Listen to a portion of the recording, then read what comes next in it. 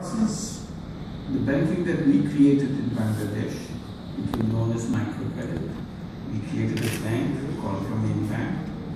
And that idea spread over the whole world and works under all kinds of political, economic, geographical situation. And we done programs as diverse countries as Africa, Latin America, Eastern Asia, everywhere. And we even run programs in the United States. We have a program called Grameen America. There are 19 branches of Grameen America, eight branches in New York City alone. And it works absolutely perfectly. Lending money to poor women, creating opportunities for them to create um, uh, income generation for themselves, just the way we have done it in Bangladesh. So that's the direction that we continue. Um, uh, it has generated a lot of enthusiasm because it helps women enormously. For the first time, women got connected with the uh, financial services. And then along the way, we also introduced other ideas which became known as social business. And that's another exciting idea, it's much bigger, much diversified area where we can create a business of a different kind. And we call it social business. It's a non-dividend company to solve human problems.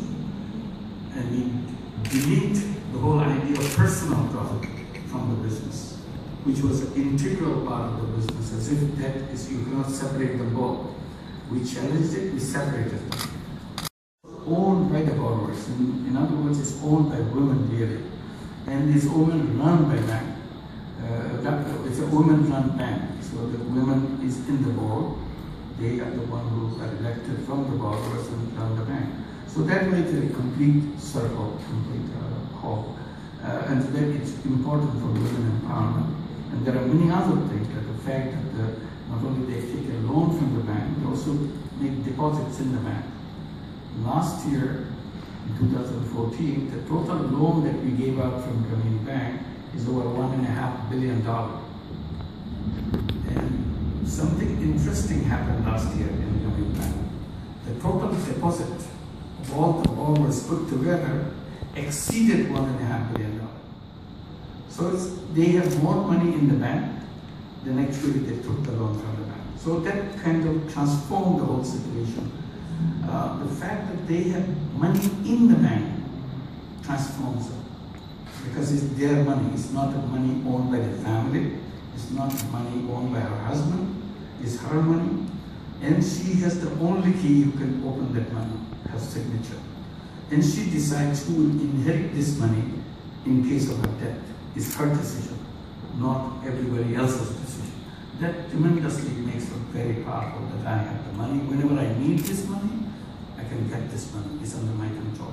So it, the ramification of it is enormous in this way they look at the family, the way they look, he, he looks at the children, how to build her up, build them up, and so on and so forth. So that's very important uh, for that. Just to add one little piece, not only we do it in Bangladesh, 97% women, today we have over 70,000 borrowers in the United States in all the 19 branches. 100% of women. And absolutely beautiful way it works and uh, with the high repayment, everybody is happy with that, what they have.